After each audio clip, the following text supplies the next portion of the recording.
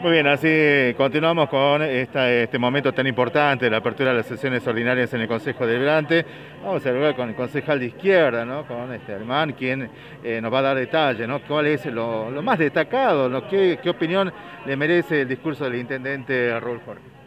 Hola, sí, buenas noches, muchas gracias por la entrevista. Sí, primero en principal es fue un, un largo discurso donde se repitieron varias cosas en lo que nos deja con se podría decir con sabor a poco, con las medidas, los anuncios del, intendente con respecto a los grandes problemas que está viviendo eh, el pueblo trabajador de San Salvador de Jujuy, el tema de, la falta de empleo, el tema de la infraestructura, que creo que fue un reconocimiento del intendente, da tantas excusas con respecto al Parque Belgrano, el Parque Civi que fueron eh, partidas de nación que no se podían usar para otro lado. Eso como se dice, a relevo de pruebas es el tema de que no se avanzó efectivamente con las obras que son tan necesarias para barrios como Alto, eh, Alto Comedero, diferentes eh, lugares, por ejemplo asentamientos, que en San Salvador Jujuy son cerca de 9.000 familias las que viven en esas condiciones. Otra cuestión es el tema de las grandes omisiones que se planteó. El tema del transporte es un tema latente que solamente se le da eh, la, culpa al tema de los subsidios diferenciados, la inequidad que discute el intendente con respecto a capital.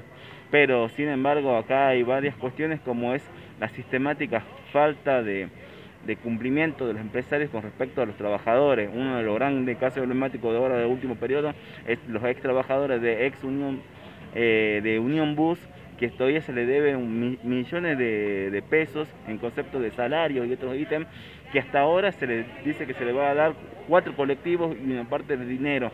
Por ejemplo, el intendente no nombró nada de esto y que algo es grave. Y más grave aún es el tema también del trato, aunque se habla del autoempleo y el emprendurismo, es el trato violento que tiene el municipio con respecto a los vendedores ambulantes. Hubo un caso especialmente grave que se dio en la vieja terminal en enero, que a una vendedora ambulante que se llama Justina Mamaní fue arrastrada por una camioneta del municipio luego que le sacaran sus cosas, su mercadería, eh, por una cuadra y media. Y para que se descolgara de la camioneta le pegaron en la mano es algo terrible que, por ejemplo, el intendente omite completamente. Desde el tema de transporte que nos preocupa a todos, el tema del colectivo, que está en una situación crítica, el transporte en todo el país. Ustedes, como desde su bancada de izquierda, ¿qué propone como solución a esta, a esta problemática? Y primero, en principal, se tienen que dar cuenta los, em, las empresas que hacen con los subsidios millonarios que reciben. Como ahora planteó el, el intendente, se recibieron cerca de 13 millones de pesos por mes el tema de BEGU, cuando lo, completamos con el resto de los subsidios, tanto provinciales como nacionales, estamos hablando de una gran cantidad de dinero. Sin embargo, eso no se utiliza para que, por ejemplo, haya la cantidad de colectivos suficiente para tener una buena eh, confluencia de, vehículos a todas horas. Que por ejemplo, especialmente en Alto Comedero, es un horario, por ejemplo, llegas a las 11, 11 y media y ya es complicadísimo tener colectivo. Perdes uno, tenés que una demora de otra hora. Eso es parte de la degradación cada vez sistemática y que va avanzando de parte del sistema de transporte, que el intendente ahora no ha tomado ninguna, ninguna medida eh, a la altura de las circunstancias, todo lo contrario se siguen justificando los empresarios de transporte y el tema de subsidios, pero no hay ningún control real de por, por último, concejal, eh, se ha anunciado ya el plan de urbanización de toda la zona del Aeroclub.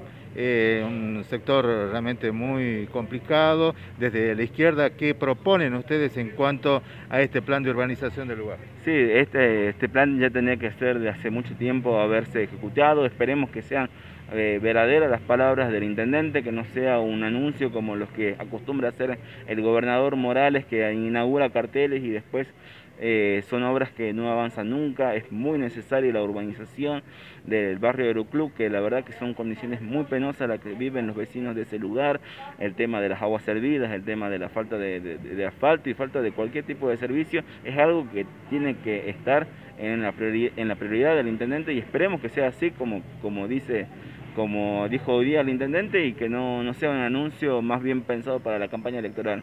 ¿Algo más para destacar, concejal?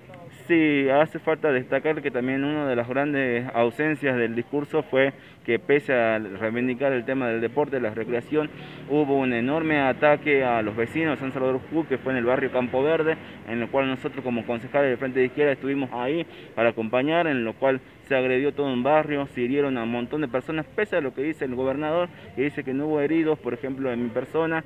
Eh, fuimos a, apoyar a los vecinos, a mí particularmente me golpearon eh, miembros de la infantería, de la policía, con un palo, tanto en la cabeza como en la espalda, también a mi compañera y también a mi compañera diputada Natalia Morales, que fue un hecho completamente violento de parte del gobierno y que bueno, ahora callan completamente tanto y fueron parte tanto el intendente como el presidente del consejo, eh, Lisandro Aguiar. Muchas gracias. No, gracias a usted.